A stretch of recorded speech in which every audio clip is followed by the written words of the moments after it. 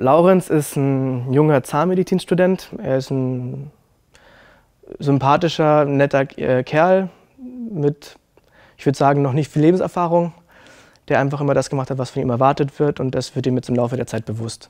Das, also Alle waren begeistert von unserer neuen Praxis. Ja, nur schade, dass es unser Herr Sohn nicht für nötig gehalten hat, mal hier aufzutauchen. Immerhin sollte mal seine Praxis werden. Zumindest war das der Plan, bevor er in die Bonbon-Branche eingestiegen ist. Laurenz. durch seine Freundin Leonie ähm, merkt er, dass er das eigentlich gar nicht so spannend findet, diese ganze Zahnmedizin-Geschichte. Und dann macht er hier diesen Laden mit ihr auf und ähm, bekommt ein Gefühl dafür, wie so das Unternehmerische und das macht ihm dann Spaß. Baumwuchs lassen sich leicht verschicken und gut verpacken. Das ist eine gute Idee. Ja, das habe ich mir auch überlegt. Und je mehr Vertriebswege, desto größer ist der Umsatz. Ja, wird natürlich eine Weile dauern, bis du das Geschäft angeschoben hast. Ja, das ist mir schon klar. Aber bis dahin habe ich ja noch den Job bei wliefern.de.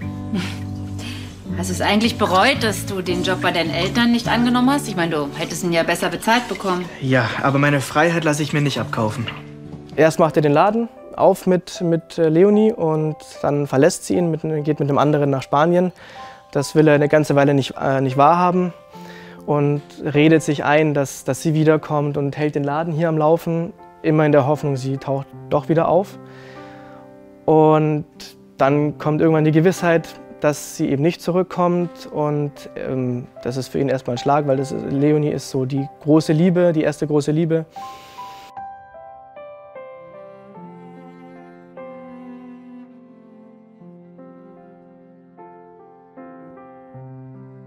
Ich finde, ähm, dass Laurenz sehr echt ist, sehr ehrlich ist und nicht. Also man, man braucht bei ihm keine Angst haben, dass er hinterm Rücken irgendwas Blödes erzählt oder was, was macht, sondern der ist, der sagt, was er denkt, der meint das so und da ist nichts Falsches. Und das finde ich, finde ich sehr schön.